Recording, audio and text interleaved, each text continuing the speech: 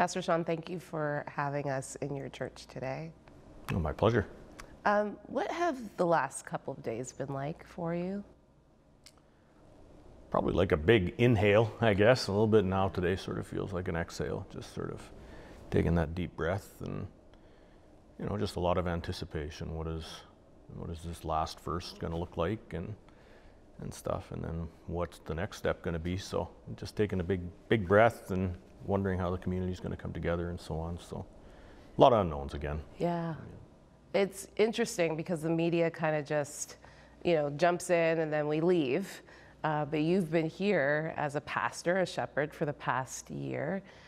What do you say to, you know, your members of your congregation who are still grappling with the loss of a year ago? I mean, only 365 days ago, um, as they still process their faith and what happened. Yeah, well, we really haven't changed the message much. I, th- I think the, you know, there's really nothing new under the sun. So as we walk through Scripture, it, it's the message is the same. You know, it's a message of hope, and the gospel is, is like Paul said, he was eager to come and preach the gospel even to his church, and just to hear the good news of Jesus. And we need to be reminded of that, oftentimes, right? That you know, God does love us. He he has paid for us, and He's going to walk with us, and He's changing us, and He's working in us, and He brings hope and peace and all those things. So the message really hasn't changed in the last year. Um, it just has taken on a new meaning for some folks, I think, and yeah. and the power of the words that they probably knew and had heard before now resonate. Now you're left to to wrestle with: Am I going to take this? And am I going to am I going to believe it and stand on it? And that's where faith becomes reality, you know. When you're talking to members who've lost a loved one in that bus crash, and they would say, you know, but we say that we serve a good God. Why would He take such innocent lives? How do you respond to that? It's a much deeper and much more complex yeah. question. It's actually not a not an answer many people want to hear either. I mean, mm-hmm. we're, we're, we're not God, number one and we have we have to leave God in the place where He is, mm-hmm. um, and and stop trying to be God and say, declare what is right and what is wrong, for God to do. Now it's not fair. Mm-hmm. Um, God is just. Um, sometimes what He does doesn't, in our perspective, is not fair. Mm-hmm. God's perspective is much bigger than ours. His ways are not our ways, and His thoughts are not our thoughts, and and so on. And God can and does do incredible things mm-hmm. that we would have never thought to ask or imagine. And so, in some ways, He's calling us to trust and walk with Him in, in very dark times and unknown times. And so, that's not to say that we will always even see in our lifetime mm-hmm. why or, or what, what happened. Um, in some ways, though, we answer that question. You know, what, what's going to uh, what's going to come of this? um, or what good could ever come of this? Mm-hmm. We, we answer that question sometimes by the decisions that we make after that. Mm-hmm.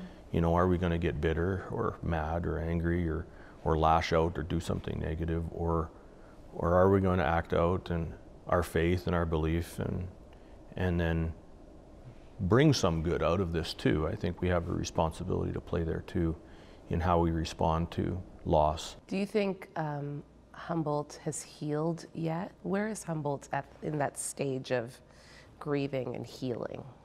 I think people who are closely connected with it are, are probably, of course, different at different stages right. than other people who maybe it was just a hockey team. You know, so the, the depth of grief, even initially, was was very different. There was a mm. shock and there was a horror that goes along with it for everybody. I think some are progressing through it, and and that's another part of grieving corporately that's so hard, mm. right? Because um, some feel guilty for feeling like they've moved too fast. Right. Others feel guilty for feeling like they're moving too slow.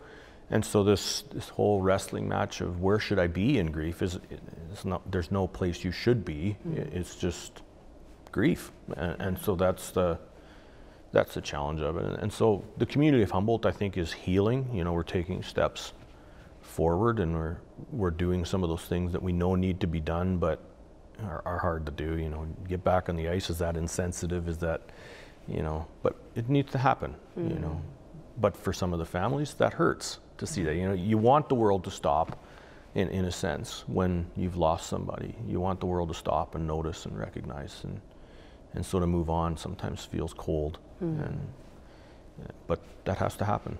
How can we continue to support Humboldt? Because the media cycle will keep going, people will move on. But I know we have viewers that will want to continue to pray for Humboldt, continue to support Humboldt. How could we do that actively? That's a good question. One of the things I think it's unique about Humboldt, a lot of people have this misconception that all the kids were from Humboldt, and they're not. Mhm, That's a good Um, point. the, Humboldt and, and hockey in general um, affects communities all over our country. And so, in, in some ways, the greatest way to support Humboldt is to support people that you're around. So, people in St. Albert or in Calgary or whatever you are, um, Toronto. Um, it's, in some ways, it's kind of like the early church. You know, you had one hub and then it went out from there.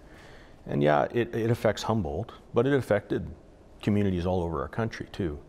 So be praying for those communities, um, but also be praying for your, your local people. There's local people that hurt. Um, your neighbors hurt, um, just like Humboldt hurts. And so in some ways, I- hope this, the tragedy opens our eyes to the fact that, that pain and suffering is actually a universal thing. It's not just constrained to Humboldt. And so Christians especially, yeah, pray for Humboldt, pray for our families, but, but look after the hurting people next to you, your neighbors and, and, and that too. Um, get involved with your hockey teams and get involved in your community so that when tragedy strikes, whether it be on a big scale or a small scale, um, we have Christian people in, in places to bring hope and peace and in their own community. And I think that's one of the ways that we should be praying is that the gospel would continue to go out into the communities. Well said. Thank you so much for your time. Thank you.